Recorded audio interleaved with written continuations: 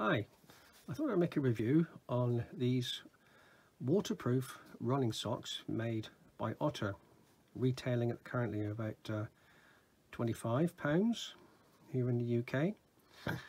Now I've had these for a year and a half or so and they've ran through all sorts of conditions uh, across a place called Dartmoor here in England which is rugged terrain full of peat bogs and lots of water. They've also been through very cold conditions where it's been quite below freezing and you're breaking through ice with your trainers into into water that's just about freezing.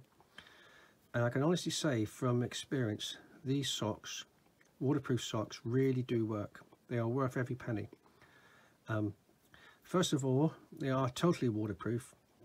And if you hold them upside down seal the bottom of your hand and put it into a bucket of water a bit like testing an inner tube for a leak uh, the air will rise to the top as it were and be pressured. You won't see a bubble come out. They are totally waterproof. I can guarantee I've tried it many times when I pop them into the bath after I've had a bath to wash them and they are airtight. Now, obviously now I've had these for a while and there's a few leaks now on the heel and some on the sole. Um, that's fair enough. You know, they've had a good innings and also um, I do tend to run on the road first before I get to the actual rugged terrain so that probably doesn't help the extra distance I'm running on different surfaces too. But 100% uh, the quality of them 100% there's nothing negative to say about them whatsoever. Um, when I've what I experienced last year we had some particularly cold weather running across the moors and breaking through the ice. My colleague just had socks on and his feet were freezing. When I went through it the ice broke through my trainers. You could feel the ambient cold sleep in uh, what I call the uh, heat transfer. But as soon as you got out of the water, the ice cold water, and started running on the snow and the ice, your feet warmed up again. And they really, really do keep you warm. And other times, when I've been running um, just under general wet conditions, um, you can run across water and not feel a thing. You, you, wonder if there's any water there. They are totally waterproof.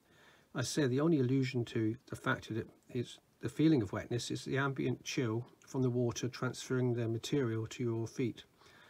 But if you take them off and look inside, there's nothing there.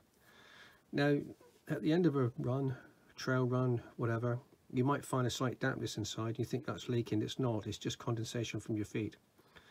So I do really recommend these for running. And there's other brands as well. They're really, really good. Um, they've done me well. And I should keep this pair for the rest of the year at the end of this year I shall end up buying a new pair again because they leak a little bit.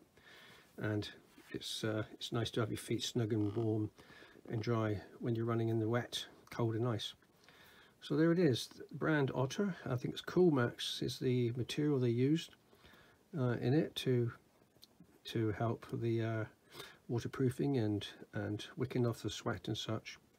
But Coolmax uh, sorry uh, Otter brand as I said, there's lots of other brands out there, but these are ones I've tried. Retail £25. Um, these are not like the videos you see in the adverts. This is proven hard work socks that I've tested for a year and a half. So the review I'm giving you is is a real life uh, review of real conditions. I hope it helps you.